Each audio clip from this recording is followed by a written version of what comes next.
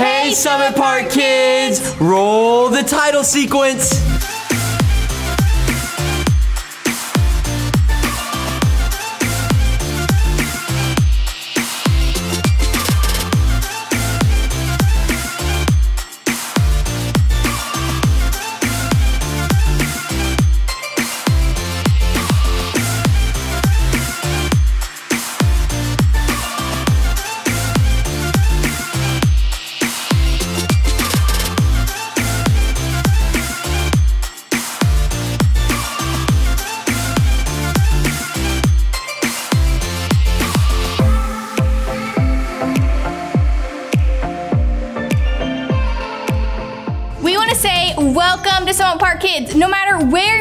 Service from today, we are so glad you're joining us. Here's the thing Summit Park Kids isn't just for the weekend, it happens all week long. You can get involved by subscribing to Summit Park Kids YouTube or having your parents follow Summit Park Kids on Instagram. And don't forget to tag Summit Park Kids and use the hashtag Summit Park Kids every time you post. One way you can use that hashtag is by posting a video of you doing the big idea, which we're gonna do right now. It's Big Idea Time! Today's big idea is Jesus helps me wake up, move, and live forever. Now we need some motions, so Lena, you got some for us? I've got some motions for us. Today, our motions are going to be Jesus helps me wake up, move, and live forever. All right, let's do it all together, loud and proud. On the count of three. One, two, three. Jesus helps me wake up, move, and live forever. Okay, one more time. Let's do it. On the count of three. One, two, three. Jesus helps me wake up, move, and live forever. Great job, guys. You guys can sit back down and remember to tag Summit Park Kids when you post those videos. It's time for Celebration Station! Choo choo! Each week we'll shout. Hey, hey, hey, hey, hey! So there's this thing that I really, really like. What is it? You could say I even love them. What is it? Well, it, my mom, but but also birthdays! Happy birthday to Isaiah, Ezra, Kinley, Taryn, Ella, Charlie, Marley, Titus. and Allison. Happy birthday. We hope you guys have the best, Best birthday ever! All right, guys, let's jump on to what we have next. What do we have next, Michaela? All right, we have our big word challenge. Let's go. All right, our big word challenge comes from Romans 10 9. Do you guys want to hear it? I want to. I want to hear it. All right, it comes from Romans 10 9, and it says this If you confess with your mouth that Jesus is Lord and believe in your heart that God raised him from the dead, you will be saved. You guys might have noticed that we do the big word challenge all the time. All the time. every week. The reason we do is because we think it is so important to hide God's words in our heart. That means that we take the time to remember the things that the Bible says. We really believe that God's word is chock full of lessons on how we should live today. Memorizing verses helps us know in the moment how God thinks we should act. That's right. We want to hide God's word in our heart so we can have it when we have a sad day, a bad day, or a really, really rad day. The Bible is God's word, and God's word is Good stuff. It's offering time. Offering is another way to worship. It shows God that we love Him more than anything we could ever buy because we want to spend our money on Him. And here's what's really cool when we give, God takes our offering and multiplies it and makes it worth even more. Then He uses it to build His kingdom here on earth. So every time you give, you're helping God build His kingdom. If you guys are here at church, we want you to bring your offering to the offering box at the info bar in the lobby. and if you're at home, you can give your offering to your parents. Your parents can then give online at the church's website. That's right. Our offering verse comes from Malachi 3:10 and it says this: "Bring the whole tithe into the storehouse."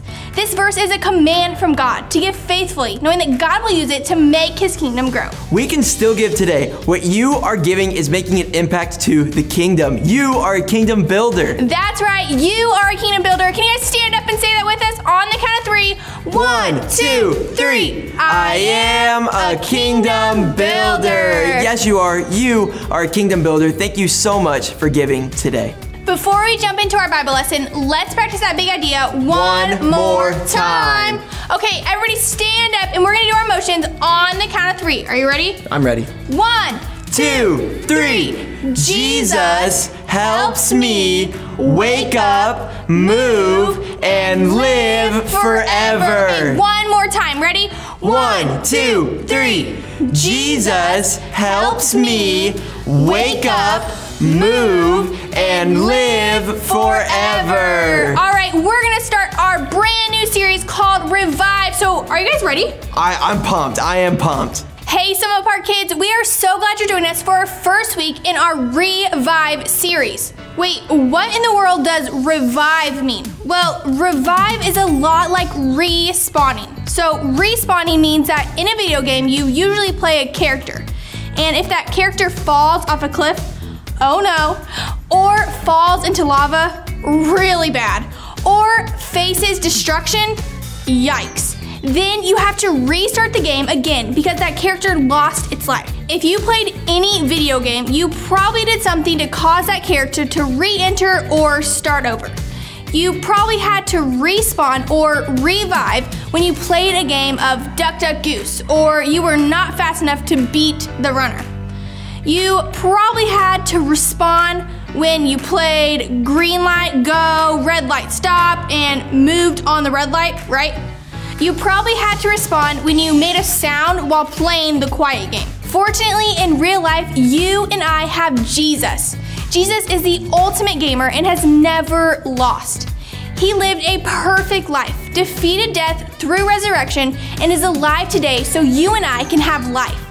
Jesus loves you so much as a child of God. Jesus can help you know how to solve problems to make you just a better gamer in life. Actually, Ursula has a video all about this, so let's go check it out and I'll be right back. Hey guys, welcome back to another Unboxing with Ursula. I'm Ursula. Remember, give me a big thumbs up and subscribe so you can see when I post a new video, which is every single week.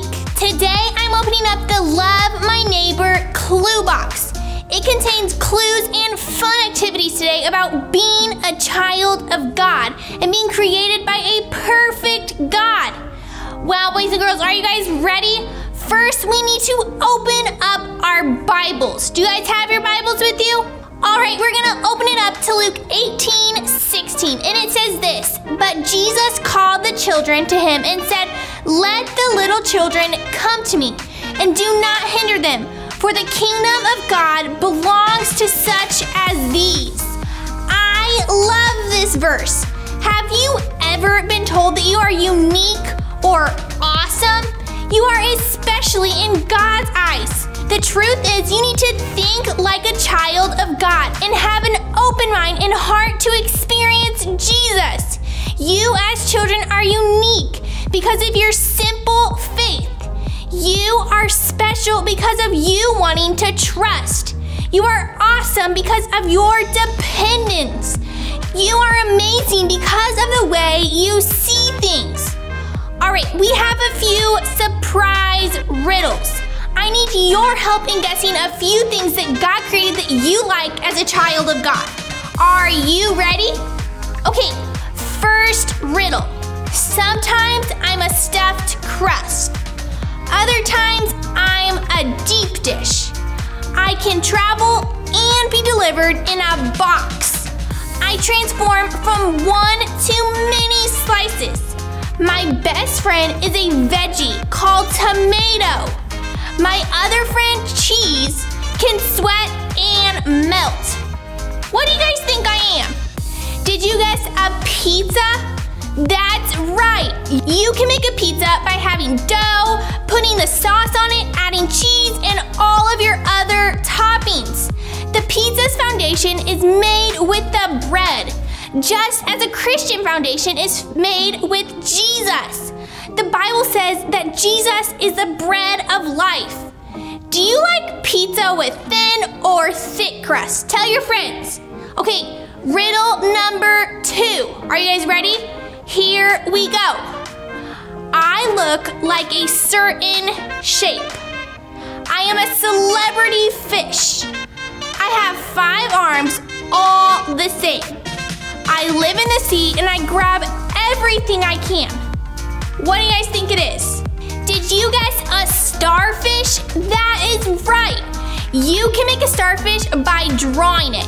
You can make the five sides, add a little smiley face on it, and color it in. The Bible says God created sea animals in Genesis. Can you name another creature that lives under the sea? Pineapples don't count. Okay, riddle number three. Are you ready? Here we go. You see me in the air, but I'm not a kite. I look like violet, indigo, and blue, and red, yellow, orange, and green. I'm not a pot of gold. What do you think I am? Did you guess a rainbow? Well, you're correct. You can make a rainbow by coloring another picture, putting all the colors in one, maybe putting some clouds at the end, It'd be so cute. God made the rainbow as a reminder of his promise that he will never flood the earth again. God will help things get better for us, like a rainbow coming out after a storm. All right, boys and girls, this is our last riddle. Riddle number four. I can be three to over five feet tall. Shoes help, but I'm not born with them. I am younger than a teenager, but I'm not a baby. I am a human and I have a name. Another word for me starts with a C, but not a K as in kid. What what do you think I am? Did you guess a child? You can make a child out of a stick figure, right guys? The Bible says you are a child of God and you are fearfully and wonderfully made. That comes from Psalms 139 14. God created billions of children, but gave you, yes, you, your own look, strength, personality, and potential. We can live in confidence that God doesn't make junk and that you are a unique masterpiece to God's creative genius. All right, I have a special challenge for you. I want you to make a pizza, a sun, maybe a starfish with Play Doh today. I created some a couple days ago and I love doing that. One beautiful truth is that Jesus allows us to be a part of God's family as children once we accept Him as our Lord and Savior. You are a child of God to the most holy heavenly King, which is a reason to be glad and happy. Thank you so much for watching Unboxings with Ursula. I'll see you next time. Bye! Thanks, Ursula. This leads us to our first point. I'm a child of God. Can you guys say that with me on the count of three? One, two, three. I'm a child of God. It says in Galatians 3:26, "For you are all children of God through faith in Christ Jesus." Today, our Bible story is found in Mark chapter 5. A dad named Jairus had a daughter who was very ill. No, she didn't eat too much candy or stay up too late. But for some reason, she was going to die, and her dad would do anything in his power to help her get well. Jairus was a ruler in the temple, and he had heard about how Jesus had been healing many people. So when he saw Jesus, he ran to meet him right away. He fell at the feet of Jesus. My daughter is sick and is about to die, he said. Please come and place your hands on her. Heal her so she can live. What did Jesus do? Did he say, give the girl two aspirin and if she isn't better by morning, give me a call? Of course not. Jesus immediately began walking with Jairus toward his house so that he could heal the girl. As they walked through the streets of the town, some men came up to Jairus and said, Your daughter is dead. There is no need to bother Jesus now. Oh no, that is some bad news. Jairus had found Jesus and they were on the way to heal his daughter. And now she was dead. Jairus was heartbroken, but Jesus paid no attention to what the people said. He turned to Jairus and said, Do not be afraid, only believe. When they arrived at the home of Jairus, there were many people there, and they were all crying. Jesus said, Why are you crying? The girl is not dead, she is asleep. Do you know what the people did? They laughed at Jesus. Can you imagine that? They laughed at Jesus. Jesus told all the people to leave, and he took the mother and father into the room where the girl was. He took the girl by the hand and said, Little girl, get up. Immediately, the girl stood up and began walking around the room. Her parents were amazed. What can you learn from this? Jesus has the power to wake up people from the dead. If Jesus can do that, he can do anything. Jesus can help you with a sickness, help you to be excited about life, school, doing chores, listening to your parents, and learning how to love your neighbor better. What a cool story. And Landon has a lot more on this. So, Landon, on to you.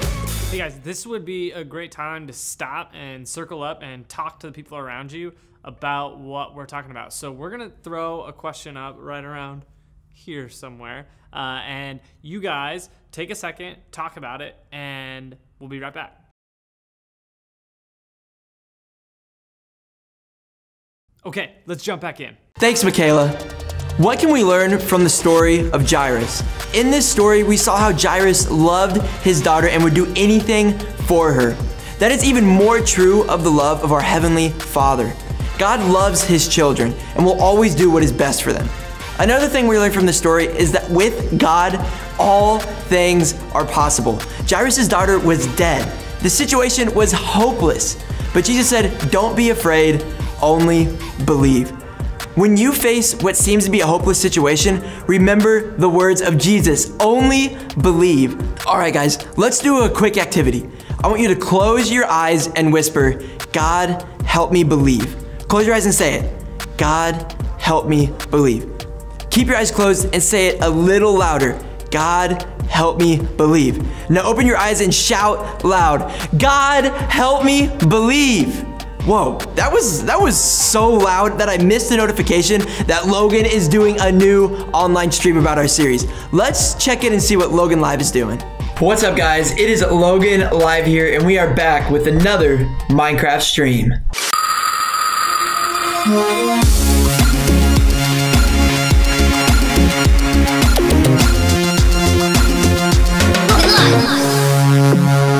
Is up, boys and girls? My name is Logan, and like I said earlier, this is Logan Live. I've been so excited getting to meet each and every one of you, but I want to get to know you just a little bit more.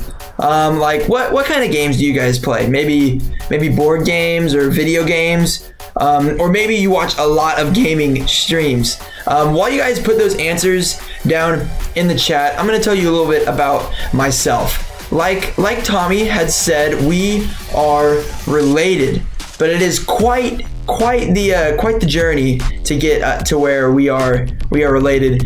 Tommy is actually my second cousin's aunt's dog's cat's owner's cousin's wife's husband's brother. I know. I know it's a lot. Like that's a lot to follow. That's a lot of lineage right there, but but it, it makes sense. Just draw it out. Draw it out. But guys, I I've been so excited for the for the spring season to be here, and Easter is right around the corner. But guys, I I have a little secret to tell you. I have a little secret that I want you guys to know. Can you guys keep a secret? I, I think you guys can keep a secret. Here, lean in, lean in, and I'll tell you. I'm gonna be making the ultimate Easter egg hunting farm. Yeah, that's right. It's gonna be a big field full of Easter eggs filled with lots of candy. I love candy. It's gonna have the best features too, like a water slide, um, a phone charging station, and an endless slurping machine so you won't get thirsty. I'm gonna work on building the farm and designing the eggs. So we're gonna we're gonna go ahead and start building the fence here, you know, going here, and then we'll get some Easter eggs going here in a little bit. Well, guys, um, we've been talking about Jairus. When when Jairus came to Jesus's feet, he fell, like he fell to his feet and began to plead with him. He said, "My little daughter lies at the point of death." Come and lay your hands on her, that she may be healed and she will live.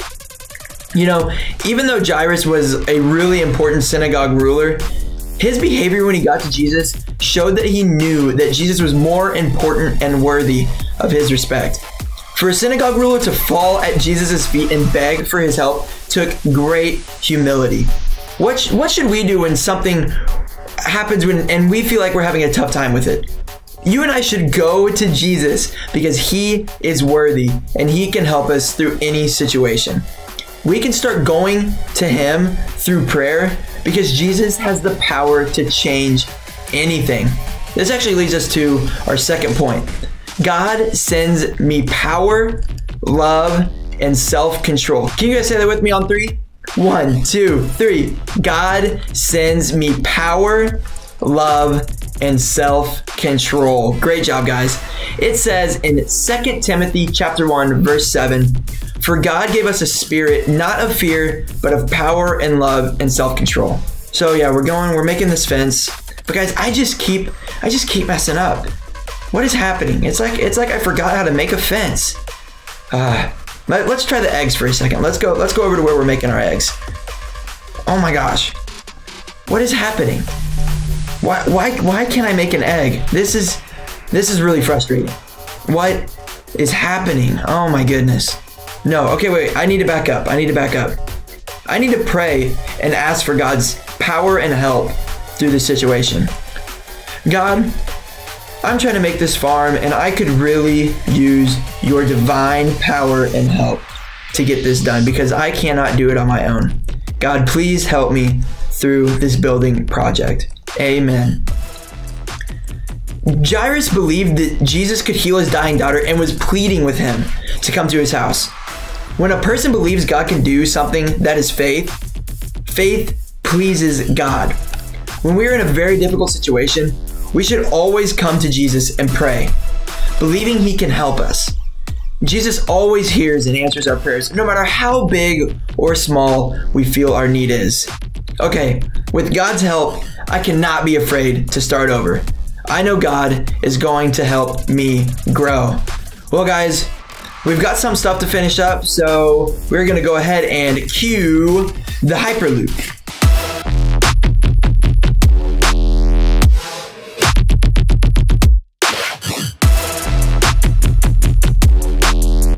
All right, boys and girls, we just are finishing up. So, guys, I need you to start thinking about next week.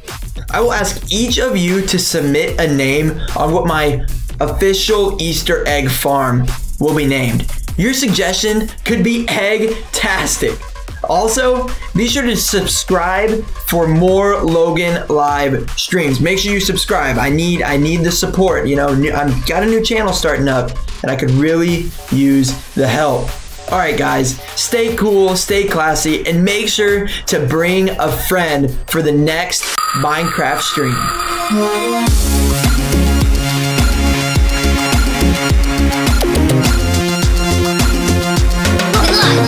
That was such a fun time with Logan live. All right, Summit Park kids, please give a round of applause to your live host at Summit Park or your host at home. They will help you find and follow Jesus too. So give them all of your attention and do as they ask.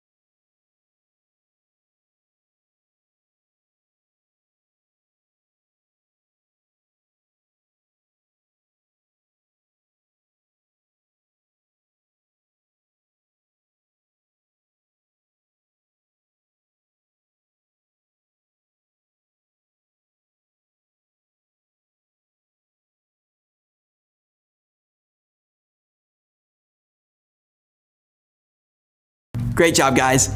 So let's go on back to wrapping up our series. Great job. This is our third and last point. I'm awake in Jesus. Can you guys say that with me on three? One, two, three. I'm awake in Jesus. Great job. It says in 1 Thessalonians chapter 5 verses 5 through 6, you are all children of the light and children of the day. We do not belong to the night or to the darkness. So then, let us not be like others who are asleep, but let us be awake and sober. Jesus had the power to wake up the dead. Sometimes even an alarm clock, clapping hands, singing, banging pots and pans don't work.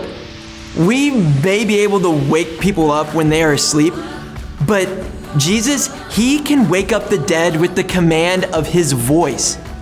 All right, guys, let's let's play a game. To start, I need everyone to stand up, stand up, yeah, right where you are. This game is called Age Down, Heads Down. When I say out loud how old you are, you have to sit down and put your head down until everyone is called. Does that make sense? Does that make sense? All right, guys, here we go. 12, 11, 10, 9, 8, 7, 6, 5, 4, and 3. Well, nobody should have sat down there because nobody here is 4 or 3. Well, guys, that game's over. That wasn't very fun, was it? All right, let's let's play a game uh, the second way that's more fun. This game is called Age Up, Jump Up. All right, guys, so stay on the ground. Stay on the ground. Everybody stay on the ground. When I say out loud how old you are, you have to stand up and keep jumping in place until I'm finished. All right, here we go. 12, 3, 11, uh, 4. Yeah, keep jumping, keep jumping, keep jumping.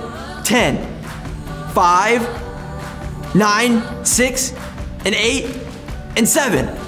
Yeah, keep jumping, keep jumping. All right, guys, you guys can stop. Wasn't that second one a little bit more fun? It's because you were able to stand up instead of sitting down. You were asked to keep moving instead of stop moving. You didn't know what age number was coming next, so you paid more attention. You felt more alive and awake because you found the power to rise up and to keep jumping. Jesus wants to be the source in helping you wake up fresh, recharged, and have energy each and every day. We thank Jesus for having the power that helps us when we feel helpless. Jesus has the power to wake people from the dead. If Jesus can do this, he can do anything. Jesus can help you learn how to follow and trust in him. If you decide to accept Jesus as your Lord and Savior, nothing can separate you from his love and his power. If you guys are ready to accept Jesus Christ as your Lord and Savior, all you have to do is repeat after me. Say this prayer with me. Dear God, thank you for sending Jesus to be the Savior of the world. Thank you for the great love He has for each of us. Thank you that He even has the power to bring dead people back to life. In Jesus' name, amen. Well, if you guys just prayed that prayer for the first time and you are believing in your heart that Jesus is Lord for the first time, congratulations. That is the best decision you will ever make in your life.